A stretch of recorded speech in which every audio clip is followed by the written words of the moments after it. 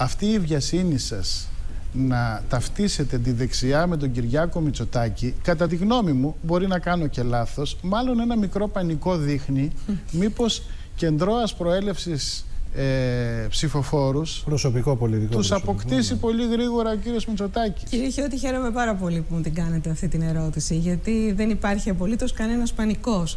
Δεν προσπαθώ εγώ να ταυτίσω τον κύριο Μητσοτάκη με τη δεξιά. Ο ίδιος είναι ταυτισμένος απόλυτα με τη δεξιά με και, τη δεν, Νέα εννοώ, βέβαια, όχι με και τη δεν δεξιά. εννοώ βέβαια την οικογενειακή του σχέση. Εννοώ πάρα πολύ απλά αφενός τις απόψεις του και τις τοποθετήσεις του τις προσωπικές, αφετέρου τους ανθρώπους που τον στήριξαν σε αυτή την κούρσα διαδοχής στη Νέα Δημοκρατία. Δεν πιστεύω ότι κανένα από τα πρόσωπα που ταυτίστηκαν απόλυτα μαζί τους σε αυτή την εκστρατεία μπορεί να χαρακτηριστούν ως κεντρώα. Ναι. Πάντως Αυτό εκεί- δεν το ξέρετε, γιατί δεν δεν ξέρετε το ποιοι ξέρω; τον ψήφισαν. Μα πώς δεν το ξέρετε ξέρω; τα επώνυμα στελέχη που Μα τον δημόσια στήριξαν; τοποθετήθηκαν, δημόσια τοποθετήθηκαν τα επώνυμα στελέχη που τον στήριξαν. Όταν λοιπόν ταυτίζεται με στελέχη της δεξιάς που καμία σχέση με το κέντρο δεν έχουν, είναι ο ίδιος που κάνει τις επιλογές του και όχι εγώ που βιάζομαι να τον βαφτίσω. Οι μεταρρυθμίσεις δεν είναι ουδέτερες. Και το ποιος είναι μεταρρυθμιστής κρίνεται στην πράξη από το αποτέλεσμα. Οι μεταρρυθμίσεις λοιπόν πρέπει να έχουν πρόσημο και πρέπει να έχουν και κοινωνική δικαιοσύνη.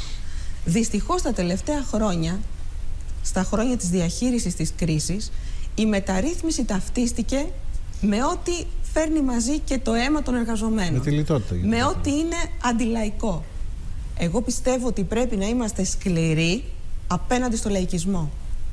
Εγώ έχω ανοίξει πόλεμο απέναντι στο λαϊκισμό. Το ίδιο λέει και ο κ. Μητσοτάκης. Ε. Έχω ανοίξει πόλεμο απέναντι στο λαϊκισμό, αλλά όχι απέναντι σε ό,τι είναι λαϊκό. Γιατί το Πασόκ και η Δημοκρατική Συμπαράταξη υπερασπίζεται τους εργαζόμενους και τις υγιείς δημιουργικές δυνάμεις αυτής της κοινωνίας.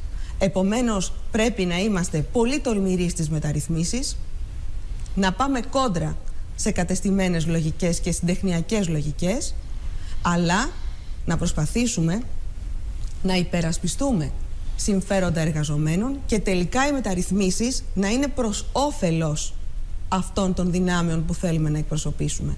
Σας θυμίζω λοιπόν ότι στο email Χαρδούβελη, στο τέλος του 2014, δεν υπήρχε καμία απέτηση για παρέμβαση στο ασφαλιστικό, διότι είχαν αποδεχθεί ότι με το 3863 έχει αντιμετωπιστεί η βιωσιμότητα του συστήματος και δεν υπήρχε καμία συζήτηση για παρεμβάσεις στο ασφαλιστικό. Ωραία, Εντάξει, πάντως Πώς δεν- προέκυψε αυτό; Δεν είχε κλείσει Λοιπόν. πάντως συμφωνία. Επικαλείστε το mail Χαρδούβελη ως όχι, μια όχι. κλεισμένη Στην επόμενη συμφωνία. μέρα. Δεν Δεν ήταν υπήρχε, κλεισμένη δεν συμφωνία. υπήρχε Το είπε καμία και ο Βασίλης. συζήτηση για παρεμβάσεις στο ασφαλιστικό και αυτό είναι σαφές και ξεκάθαρο. Η ανάγκη προέκυψε ακριβώς Ναι. λόγω των ελλημάτων που δημιουργήθηκαν ξανά. Μπήκαμε έχετε- ξανά στην ύφεση, μειώθηκε το ΑΕΠ, αυξήθηκε η ανεργία και όλα αυτά Ωραία, έχουν είμαστε στη νέα επιπτώσεις στο πραγματικότητα ασφαλιστικό. με συγκεκριμένη Είμαστε λοιπόν στη νέα ασφαλιστική Τώρα πρέπει να δούμε το πραγματικότητα. σήμερα. Εμείς ξεκινήσαμε το διάλογο για το ασφαλιστικό όταν ακόμα η κυβέρνηση δεν είχε διατυπώσει τις θέσεις της. Ξεκινήσαμε με μια ημερίδα του Ίσταμε και με εκπροσώπους του ΦΕΠΣ και καλέσαμε όλους τους κοινωνικούς εταίρους να τοποθετηθούν. Καταλήξαμε λοιπόν και αυτά έχουν υποθεί και προς τον... ε, και δημόσια. Δεν είναι μια συζήτηση που έχει περιοριστεί στο εσωτερικό του κομματός μας. Ότι αυτή τη στιγμή αντιμέτωποι με την ανάγκη να εξασφαλιστεί το 1,8 δις που είναι ο λογαριασμός που δημιούργησε η κυβέρνηση με την πολιτική της στους προηγούμενους μήνες και φέρνει σήμερα στους πολίτες, θα πρέπει κατά κύριο λόγο να αντιμετωπίσουμε το ταμιακό πρόβλημα χωρίς να αποδομήσουμε τον κοινωνικό χαρακτήρα του συστήματος. Οι συνεργασίες, κυρία Μοιρά, είναι άλλο πράγμα από το ότι εμείς είμαστε ένας αυτόνομος πόλος Άμα με, συγχωρείς διάδοσος, αυτοδύναμη, μπορείτε να με συνεργαστείτε. αυτοδύναμη στρατηγική και αποφασιστικό ρόλο. Αυτό το έχουμε πει από την προεκλογική περίοδο. Μιλήσαμε για τρίτο πόλο, για αυτόνομη στρατηγική. Είναι ξεκάθαρη η πορεία μας. Έχουμε οριοθετηθεί και από δεξιά και από αριστερά και το Πασόκ πραγματικά δεν κινδυνεύει και η δημοκρατική συμπαράταξη ούτε από τον αριστερό λαϊκισμό, ούτε από ρετρό νεοφιλελεύθερη δεξιά. Στο σημείο που βρίσκεται η Ελλάδα δεν μπορεί να λύσει τα προβλήματά της μέσα από τη δημιουργία μετόπων.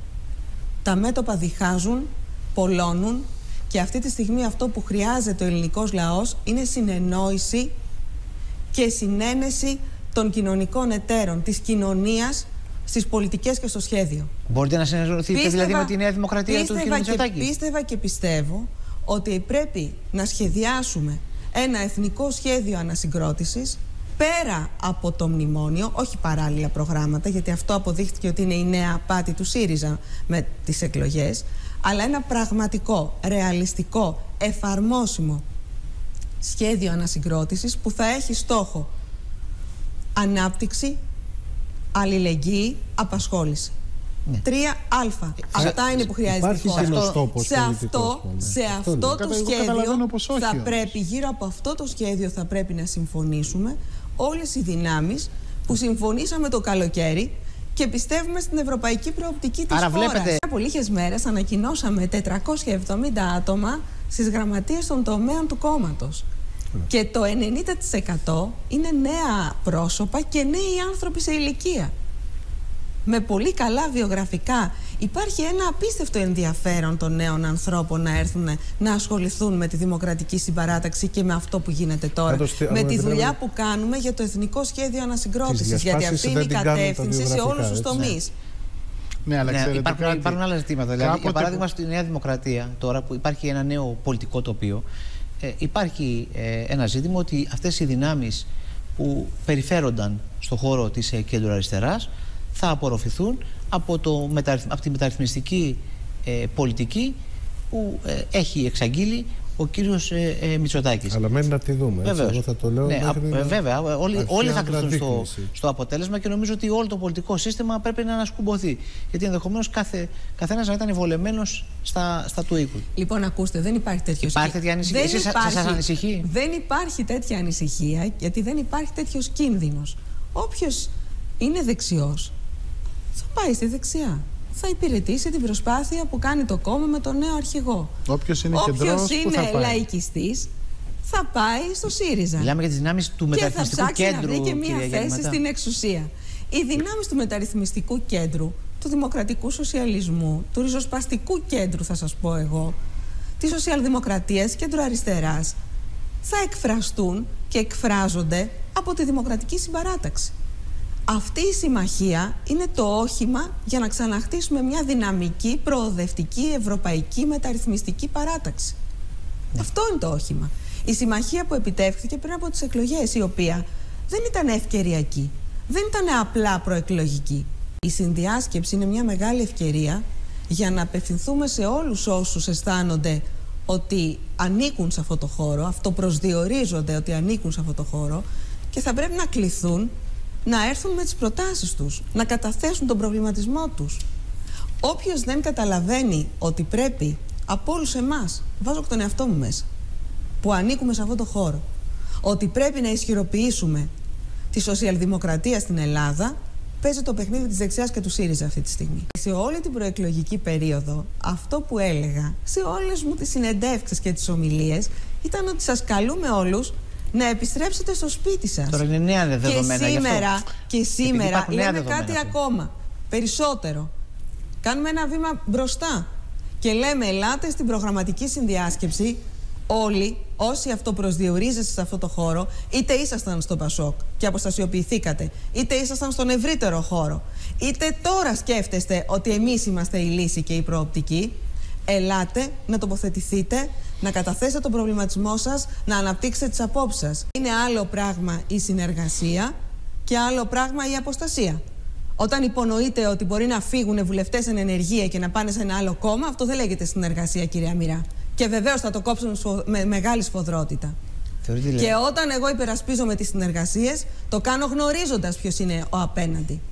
Πρέπει να γνωρίζεις ποιος είναι αυτός με τον οποίο συνεργάζεσαι, να γνωρίζεις τις διαφορές σου και να ξέρεις σε ποια σημεία θα κάνεις συμβιβασμούς και υποχωρήσεις για το εθνικό συμφέρον και το εθνικό καλό. Εμείς ναι. μάθαμε εδώ ότι υπάρχουν δύο πόλοι, ο ένας είναι απέναντι από τον άλλον και σκοτώνονται. Ε, όχι, δεν είναι έτσι τα πράγματα. Εμείς λοιπόν είμαστε ένας άλλος πόλος, αυτόνομος, αυτοδύναμος, αποτελεσματικός, προοδευτικός και μεταρρυθμιστικός. Και είμαστε εδώ και προχωράμε μπροστά. Ναι. Έχουμε καταθέσει μία πρόταση για εξεταστική. Ναι. Γιατί είπαμε ότι θα πρέπει να διερευνήσουμε όλη την πορεία της οικονομίας από τη στιγμή που μπήκαμε στο ευρώ μέχρι και σήμερα να συμφωνήσουμε όλα τα κόμματα ότι θα συζητήσουμε για αυτό το διάστημα και επιτέλους θα συμφωνήσουμε σε μία αλήθεια που θα κάνει και τους Έλληνες πολίτες να νιώσουν. Δεν θα, δεν θα υπάρξει μια αλήθεια. να καταλήξετε σε μία αλήθεια γι' αυτό. Εδώ δεν υπάρχουν στα, στα μικρότερα ζητήματα. Και περιμένω να δω, περιμένω να δω ποιοι θα ανταποκριθούν, ποια κόμματα θα ανταποκριθούν σε αυτή την εξεταστική. Καλή, καλή Ο ΣΥΡΙΖΑ μέχρι απλώς... στιγμής δεν έχει ανταποκριθεί δεν θέλει λοιπόν. φαίνεται να αναζητήσει τις ευθύνες ούτε τις προηγούμενες ούτε των δικών του. Επειδή υπάρχει και το σήμερα κυρία Η Νέα Δημοκρατία, για το σήμερα ναι, μιλάω, η Νέα Δημοκρατία μέχρι σήμερα δεν είχε αρχηγό, προφανώς δεν μπορούσε ο υπηρεσιακός όπως τον χαρακτήρισαν αρχηγό να πάρει μια τέτοια απόφαση. Ναι. Θέλω να δω, ο κύριος Μητσοτάκης θα πει ναι σε αυτή την εξεταστική για να διερευνηθούν οι ευθύνες και της Νέας Δημοκρατίας, ιδιαίτερα στο διάστημα 2004-2009. Γιατί όποιος, κυρία Μοιρά, δεν δεχθεί να προχωρήσουμε σε αυτή την εξεταστική, καλά θα κάνει να μην ξανακουνήσει ποτέ το δάχτυλό του στο Πασό και στη Δημοκρατική Συμπαράταξη.